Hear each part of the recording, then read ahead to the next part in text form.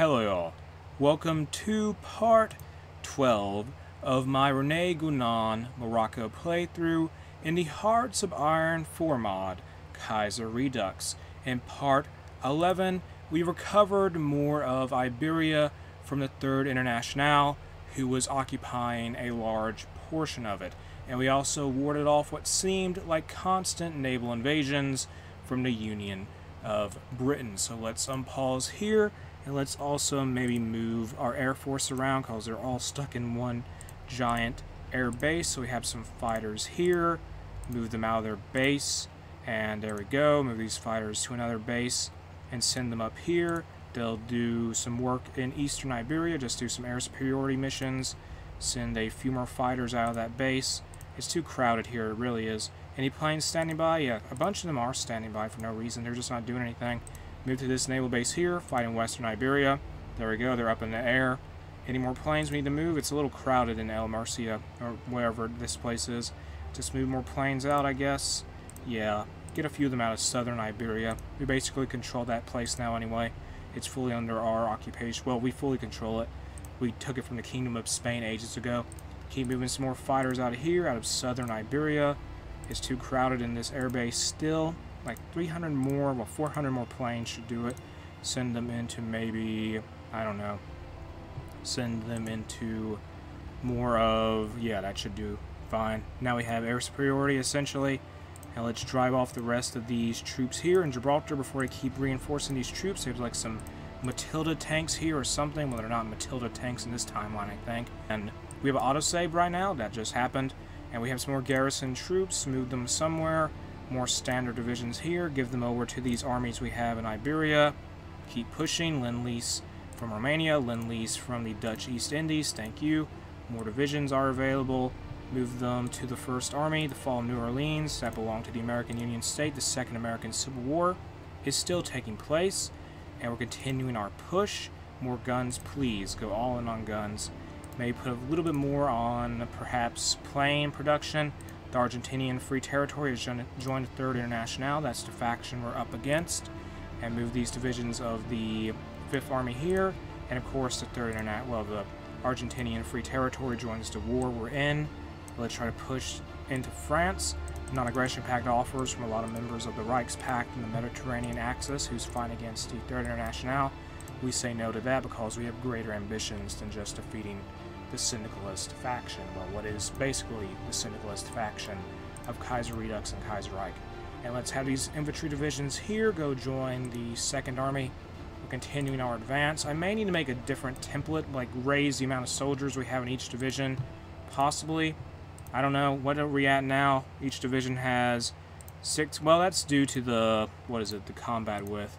Let's give them a few more battalions. That should do fine. And how much guns do we need? A lot, but we're making like a thousand per day. Tons and tons of guns. We're not having any issues just making more divisions. There's a naval invasion there. Just leave us alone. They're not stopping though. Okay, 8th Army. Just stop this naval invasion that's trying to take place in Morocco. Just get out of here. Get rid of get out of the port next to the Rif. Just yeah, get the British out of here. They failed in that naval invasion essentially just drive these troops out of here. Is that a floating harbor? Is that what that is? I don't really know how those work, like at all. Here's some more garrison divisions, though. They're going to go out and do some stuff. They don't really need a commander and have them defend, uh, say, more area defense, please. Go to... Maybe they could also defend, perhaps, places of victory point value. Yeah, they could do that. They might as well. And let's have some more, one more Lend-Leases come from the Austrian Confederation. Thank you. Those guns will help us out some. Some more ships have been sunk. Is this naval invasion over with yet? No, it isn't. We lost an ace. Print. What was that guy's name? That was strange. Whatever. Okay, that naval invasion has been stopped. Those units are destroyed. Now let's merge the 8th Army with the 1st Army, who's pushing. And let's keep up our advance here. Let's actually move the 1st Army into Army Group 1. And let's readjust this order we ha have for this entire group, which is led by the Field Marshal Rene Guenon. He's a Field Marshal for his country that he leads. And now let's set up these troops and drive forward into the rest of Iberia and go toward maybe Catalonia, then push into France. There we are. So Now let's begin to all-out attack across the lines and try to drive back the enemy once and for all out of Iberia and go back on the offensive in France. And the French are being pushed back. They are fighting on multiple fronts at this point. They got to worry about the Germans constantly. So it's not like they can get they can how to say focus entirely on Spain anymore because it started Second Weltkrieg a while back. And there's probably a huge air battle going on in Western Europe, well, uh, on the French-German border. And now let's start researching assembly line production. It is 1941. Here is, okay, never mind, ace pilot promoted, okay. Let's move these planes out of the, out of the where, out of the, move these planes to a different airbase. Go up here, possibly, that's several planes, way too many of them. Keep the naval bombers where they are, actually, they should probably stay in that area. Go back to the west, go back to that airbase you were in, please. Go back to down there, yeah, good, just move back down there. Move these planes back down there, and that should be fine. Still a little bit too crowded. Move a little bit of fighters out of here. Take all these planes out of southern Iberia. Put some close air support in eastern Iberia. That's done. Move some of these planes around once more. That's going to be it. Just juggling planes around due to the size of that airbase we have. And the Kingdom of Burma declared war on the Bhattacharya commune in India. Keep pushing. We're really driving back the enemy. Here's some unfulfilled import request. Okay, Oh well. Keep getting... Well, now we have Fighter 2. Who Dares Wins. Okay. Build more military factories. Just build all the military factories we can get in Spain. Because now we control that once more. We need more military factories. All in on military factories. Because we need more guns. Now let's increase production. Well, up change our Fighter 1s we were producing to Fighter 2s because they're better. Although it may cost more to produce them. Outdated equipment. Okay, never mind. That's old. Research slot available, get cast 2, Close Air Support 2. Are we winning yet here? I hope we are. We upgraded our division slightly to have more men in it, so I hope it makes a difference. We may also need to get support artillery at some point. That would probably be a good call, but we're just relying a lot on numbers because we have manpower. We are a little broken as a country, which is sort of intentional. Honestly, the esoteric realm of the true France is sort of intended to take over the world, we sort of had a delay in doing that, though, because we had such big issues with the Third International being a pain, and Morocco was, per se, not really ready to fight them. Or I just didn't really manage the resources too well at the time. But anyway, keep pushing here. And Upper Aragon, that's going to be under our control pretty soon. Here's some more divisions. Give them to the who? Give them to the 7th Army. Give a few of them to the... One of them to the 2nd Army. Keep pushing. Just never stop pushing, drive back the enemy troops with sheer numbers. I think there's some troops from Argentina here at this point. Oh well, and let's have these units garrison here. Yes, garrison this area. We took it back. That's good. And we have unfulfilled import requests. I think it's rubber related or not. Forget that then. Get some rubber. Canceled Lend Lease there. Oh well. At least now we're making like 1,000 guns a day. We need to make more though. Just need to up production even more. Go to maybe a hundred factories on guns. Hundreds of factories on guns. Just a hundred factories. That'd be ideal. 101. And what happened here? Oh, Socialist Republic of Italy capitulated. I don't care too much about this. We don't have enough political power to do anything anyway. We're not too worried about this at all. We don't control nothing. So let's just hit done. And the Italian Federation got all that land. No surprise though, calls now yeah, they just pieced out because they took control of Italy. Okay then. Alright, so that's what happened there. The Socialist Republic of Italy was annexed, and now they're out of the Third International because they no longer exist as a country, which is going to benefit us. That's less troops we have to face in this war. More unfulfilled import requests. Just move out of that. Just get rid of that notification pop-up. Keep pushing. Just drive back the enemy. I need to probably make 40 width infantry. I wonder if that would work with Morocco, with the esoteric realm of the true France. I don't know.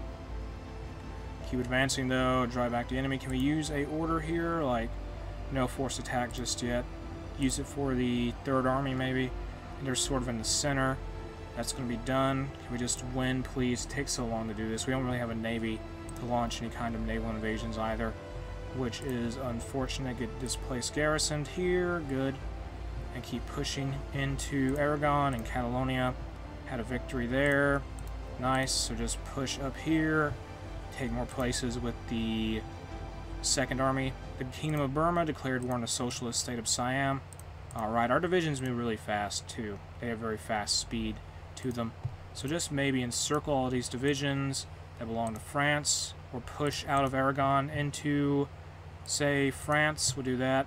Just go up here to this port, the Pyrenees Mountains. If we can just get to Navarra, we could possibly have an encirclement, maybe, if we get to Navarra, before the enemy can do anything about it. Yeah, get to Navarra, and we'll have an encirclement on our hands. More divisions here. They're for the garrison army, though. No commander. They don't need a commander. Go for that port. Okay, they didn't get there in time. Oh, well. Can these troops keep advancing, though? Or not? The French are sending more troops to maybe stop us. Annoying, but whatever. And are they going to be able to counterattack us? I don't think they will. They're not going to be able to do it. Keep pushing here. Drive back this one Italian, this one French division. More infantry is available. Give them, give one division over to the to the 6th Army.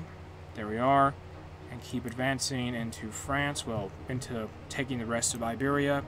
Well, Spain at this point, we control all of Portugal, honestly. Yeah, we do. We secured that entire area. Even though Portugal joined the Entente, we're the ones who drove back the Third International, who basically destroyed the Portuguese Empire. Keep advancing here. Can we encircle this division, possibly? Yeah, let's destroy this French armored division who is isolated from its allies.